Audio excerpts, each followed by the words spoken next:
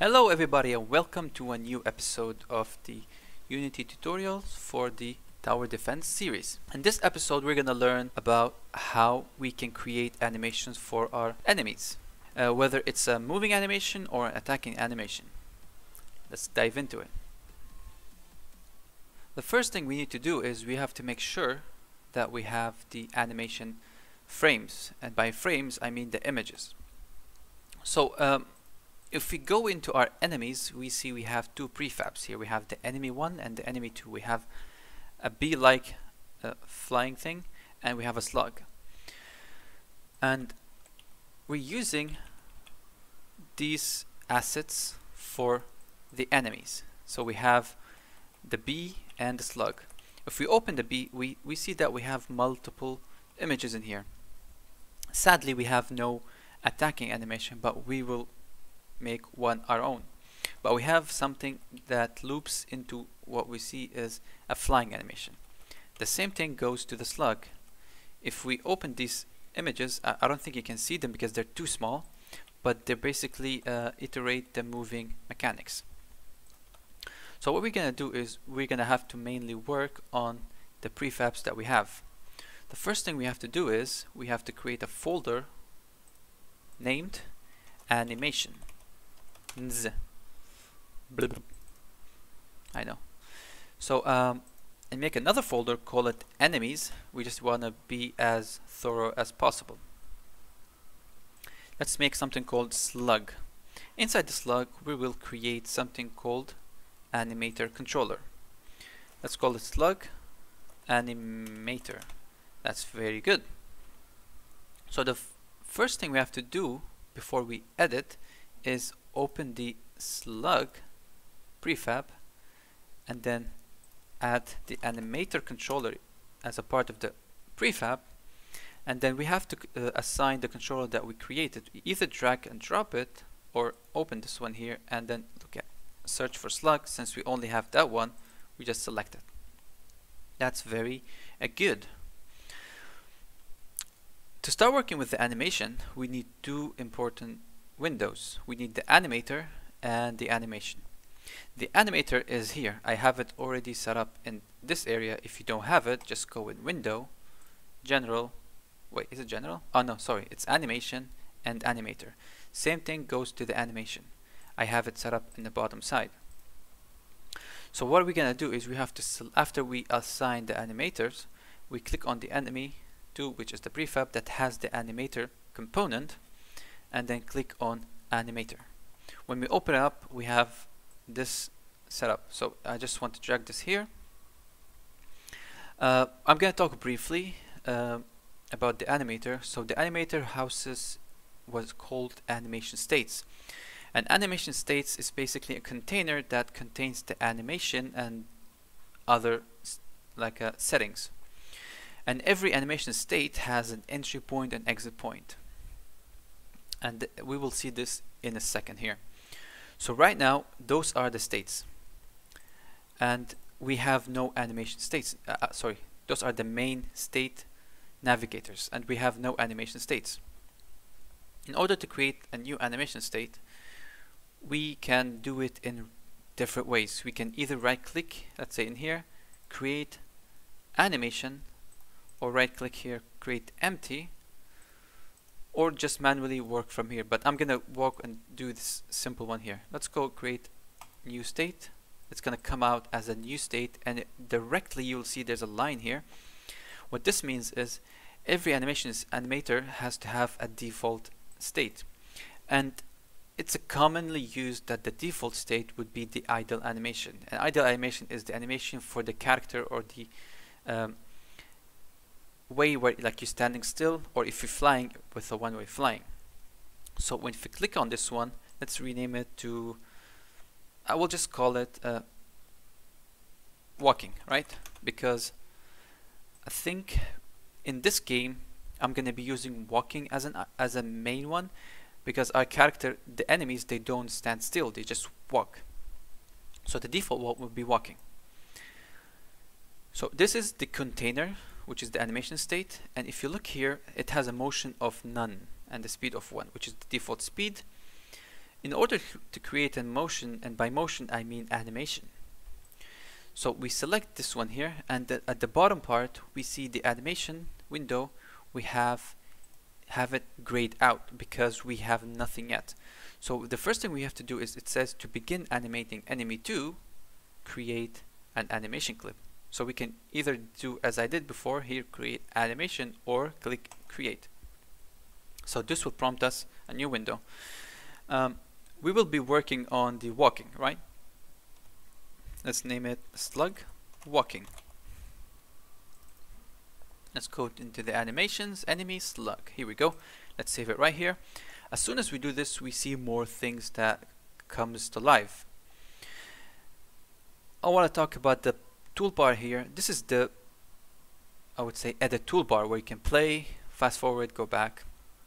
The one underneath is where you select the animation that you want. Since we created this one, we have it here. We can create more by clicking create new clip and add it there. I did a small mistake and that mistake is I did create this by, by default so when I created a new animation it did create a new container so I was just uh, describing how to create one. So let's delete the old one or you can just simply drag and drop this one here. But I just want to delete it and this will become our default. Clicking on the enemy again making sure that the slug walking is selected let's start doing animations.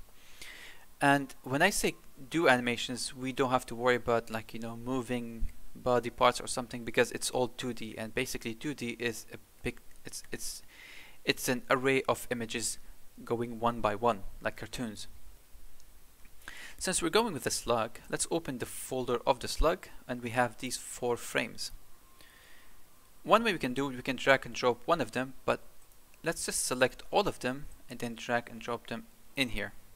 As soon as you do this, you'll see you got these four dots. These are called keyframes. And in every animations we have frames and frames do change the um, the state or not the state the attributes of the object. So right now we're changing the attribute of the object that relates to sprite. And it's basically changing the sprite component of uh, sorry the sprite item in the sprite component sprite renderer. Uh, we can in, in I mean enlarge this to see what's happening and then uh, if you click here and click F it will maximize the view to match the length of the animation. Right now we have these four stuff set up in here. In order to see the results you can either open the scene or put put it side by side. I think uh, let's just open the scene. So we can see here that we have stuff happening. Let's play it if we play it we see it's going way too fast. That's because if you see on the top side this is in seconds. It's going in way too fast speed. It's not even reaching one second. So what we're gonna do is we're gonna increase it in a sense to make it look natural. So what we can do to do it, I say a lot of do's. The easy way to do this is if you can click Control A and it will select all the keyframes and then increase it all the way until you reach your desired um, length. I'm gonna do it one second. Maybe it's too much, but let's see how it works. Yeah, it does look like a decent speed. If I'm not mistaken, the slug moves slowly. Again, if you have a different speed you can if you have it faster just reduce it to half a second or whatever that helps you and it will look like it's moving faster but because I have the slug speed as a I would say slowish so I'm just gonna keep it as one second one of the stuff when you do an animation is let's go back here click on this one click on the slug double click on it it's here is loop time. So some of the animations you want to create, you want it to be loopy, you want it to play over and over again. And this applies for our walking animation, which is fine, but sometimes you want to make sure that keep an eye on this stick right here. Let's say you want to do a, a strike animation, and the strike animation only plays once. So make sure to untick it for the animation that you want to play only once. and by default it comes as loopy so that's done what we can do is we can see how it works and I'm gonna play the game and hopefully we will see a slug come right here with its animation so forget about this one. We want the slugs. Here we go. So yeah here comes the slug. I think the speed looks decent enough. Yeah I think it needs to be slightly slower which is not a big deal. So if I go here I have to increase this maybe just another half a second. I think that's good enough. Um, so we've done the slug moving. As I said sadly we have no attacking animation. But I will teach you something that actually you can do. Like I would say like a workaround if you have nothing and maybe you can replace it later on. So let's go back to the scene click on enemy tool and let's create a new clip call it slug attack right? Let's make sure it's put in the proper folder. And as I said I want the slug attack to be played once so let's untick the loop time. Here we go. So we open the animation after selecting the enemy tool which is a slug and we have to navigate to the attack. Attack is basically an empty animation. Since we don't have a, a uh, what's it called uh, images for the slug attacking like you know shooting something or just you know hitting with the eyes so what we're gonna do is we're gonna create our own kind of a you know animation. And what I thought about is I would use the existing sprite and just scale the object back and forth. Like you know it's like doing this something like this. So how this will look like is something like this. You know like two. so it, it, it goes to one and then does this attacks and then attacks again so to do this what we need to do is let's select the first frame and click add keyframe. This one. Wait what? Oh my bad. So uh, before we add keyframes we have to determine what do we want to change. Since I just said that we want to change the scale and scale is part of the transform so we need to add transform as a property so we click on add property here we click on transform and add scale. Now we have by default it adds a one second of nothing. So it added this here. So you have to first of all expand this to see the values in here. And then you'll see that the value if you keep drag and dropping here from 0 to 1 the values remain one by one which is fine. So what we need to do is we need to determine how fast attack speed should be I would say it should be somewhere between half a second to a third of a second so I will just go with a half a second which is 30 milliseconds we need to determine a couple of things. Um, we need to make sure that the animation that we do starts from a place and ends at the same place. So we have a seamless animations. What I mean by this, let's say you want to make an animation of a jumping, right? So if you jump upwards and then remain up there, it will just flip down when it ends. So we want to make sure that we jump and then go back to the same place. And it already does this for us by adding the first frame and the last frame which are the same value. So in between, I want to make sure that the slug uh, contracts and then expands and goes back, you know, like this. So let's start doing the contract. So let's go ahead and say at the 10 milliseconds, we need, I want to work on the x-axis, by the way. So we, we need it to be 0.9, right? So what happens if I go here, it will look like this right? Which is fine. Again, if you have some values you don't want to modify, just delete them. Here, I'm, I'm deleting the Z and the Y. And it turns directly to default. So what happens, like at this 10 millisecond, it contracts and then I want it to expand quickly. So I want it to become here bigger than its usual. So I to make, make sure it's 1.1. So let's see how it works. it does it does look like something we want to do yeah again you can do it faster you can bring this up in here to 20 and make sure that this is faster and it, this way we can have a faster animation. But I want to keep it like this. Uh, that looks fine. So this is one of the ways we can modify the like create our own kind of a transform animation. You can change other stuff but now we have to worry about the transform.